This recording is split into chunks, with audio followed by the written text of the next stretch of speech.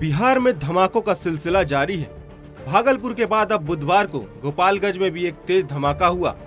फुलवरिया थाना क्षेत्र के बथुआ बाज़ार में हुए इस धमाके में मौके पर ही एक 45 साल की व्यक्ति की मौत हो गई, जबकि उसका पुत्र गंभीर रूप से घायल हो गया, जिसे सदर अस्पताल में भर्ती कराया गया है। वहाँ से डॉक्टरों ने उसे गोरखपुर रेफर कर दिया है। जानकारी के अनुसार जहाँ ये घटना हुई, वहाँ फटाका बनाने की फैक्ट्री है और वहाँ अवैध ढंग से फटाके बनाए जा रहे थे। जिस घर में यह ब्लास्ट हुआ है, उसकी दीवार, छत और कमरा पूरी तरह क्षतिग्रस्त हो गया।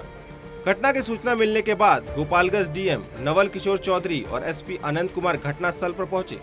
पुलिस ने घटना की जाँच शुरू कर दी है।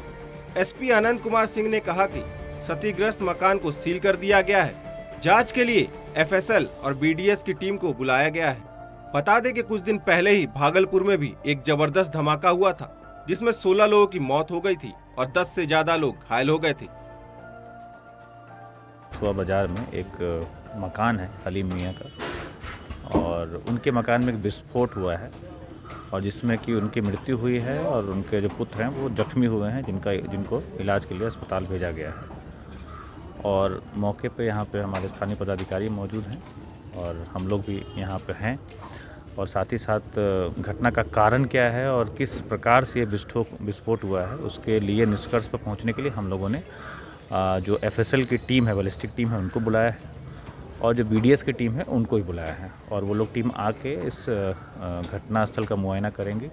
अभी हम लोगों ने इस घटना स्थल को सील कर दिया है ताकि जो भी प्रदर्श हों, वो नष्ट ना हो और उनको हम लोग संकलित करके एफएसएल में भी भेजेंगे। घटना के क्या कारण थे, किस कारण से विस्फोट हुआ उस संदर्भ में हम लोग किसी निष्कर्ष पर पहुँच पाएँगे। क्या लग रहा है अभी हम लोग धमाका किस कारण से हुआ है इसके अभी निष्कर्ष पर हम लोग नहीं पहुँचे हैं। जाँच चल रही है। हम लोगों ने उस अगल बगल के घर को भी घर के लोग हैं उनको भी रिक्वेस्ट किए हैं। और जो हमारी डिफरेंट टीम फ़सल की टीम है स्निफर टीम और भी कई टीम आ रही है हम लोग इंक्वायर करा रहे हैं। आम आदमी से सूचना भी हम लोग संग्रहण कर रहे हैं। उसके बाद ही हम बता पाएँगे कि धमाके की असली वजह क्या थी। वैसे इसमें अभी एक आदमी का डेथ हो गया है और दूसरा आदमी इंजर्ड है जो हमारे सदर अस्पताल में था उनको रेफरल की आवश्यकता पड़ी है। हम लोगों ने रेफ़र किया है वो हायर सेंटर से रेफर किए गए हैं। लेकिन एग्जैक्ट रीज़न जो हमारी टीम की जाँच हो जाएगी उसके बाद कुछ कहना हो तो मौत कितने लोग हुई है इंजर्ड कितने लोग हैं घायल कितने एक आदमी की मृत्यु हो गई है और एक व्यक्ति इंजर्ड है। सर कौन सी टीमें बुलाई जा रही है और घटनास्थल फ़िलहाल क्या कार्रवाई की जा रही है? अभी एफएसएल की टीम और स्नीपर डॉग की टीम एसपी साहब के द्वारा रिक्वेस्ट किया गया है, और हम लोग भी जो एक बॉम्ब स्क्वाड डिस्पोजल टीम होती है, उसको भी हम लोग एहतियात तरफ़ बुला रहे हैं और उनके जाँच पड़ताल के बाद ही हम लोग विशेष रूप से